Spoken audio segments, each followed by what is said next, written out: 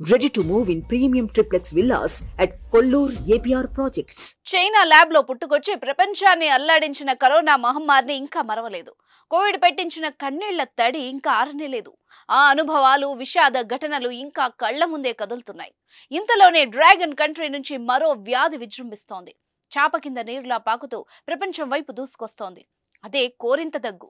చైనాలో కోరింత దగ్గు కేసులు అంతకంతకు పెరిగి మరణాలు కూడా సంభవించడం ప్రపంచ దేశాలన్నీ వణుకుతున్నాయి. ఇంతకీ ఏంటి కోరింత దగ్గు? దాని లక్షణాలేంటి? చైనాలో ఎన్ని కేసులున్నాయి?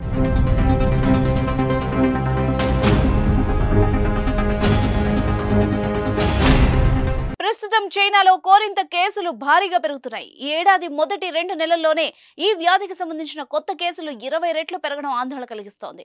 రెండు వేల ఇరవై నాలుగు జనవరి ఫిబ్రవరి నెలల్లో చైనాలో ముప్పై రెండు వేల మూడు వందల ఎనభై కోరింత దగ్గు కేసులు నమోదు కాగా పదమూడు మరణాలు కూడా సంభవించినట్టు national disease control and prevention administration వెల్లడించింది.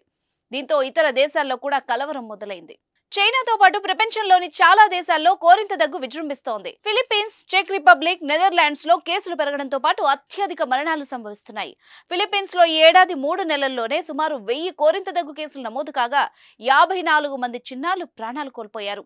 బ్రిటన్ అమెరికా ఆస్ట్రేలియాలోనూ ఈ వ్యాధి వేగంగా వ్యాప్తి చెందుతోంది. బ్రిటన్లో జనవరిలోనే ఐదు వందల యాభై మూడు కేసులు ఆస్ట్రేలియాలోనూ గత మూడు నెలల్లోనే రెండు వేల ఏడు వందల తొంభై తొమ్మిది కోరింత దగ్గు కేసుల్ని గుర్తించారు.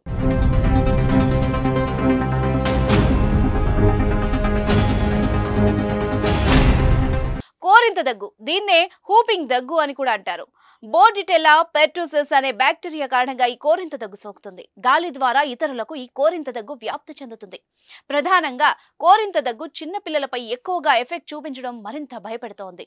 ముందుగా జలుబు లక్షణాలతో ప్రారంభమై జ్వరం విపరీతమైన దగ్గు ఉంటాయి.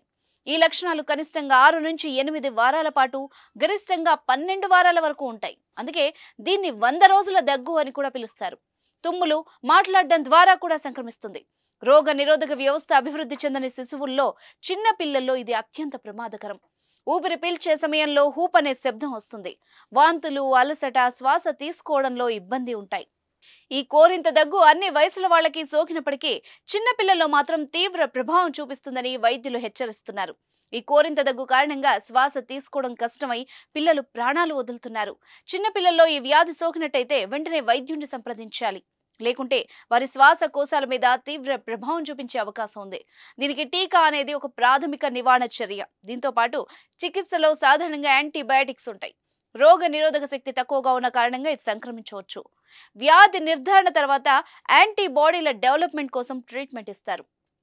ప్రతి మూడు నాలుగేళ్ళకు ఒకసారి ఈ ఇన్ఫెక్షన్ వ్యాపించే అవకాశం అధికంగా ఉంటుందని వైద్య నిపుణులు చెప్తున్నారు. వ్యాక్సిన్ తీసుకున్న వాళ్ళలో మాత్రం దీని ప్రభావం తక్కువగా ఉండడం ఊరటనిస్తోంది. ఇక కోరింత దగ్గు విజృంభణతో దేశాలన్నీ అప్రమత్తంగా ఉండాలని డబ్ల్యూహెచ్ఓ హెచ్చరికలు జారీ చేసింది.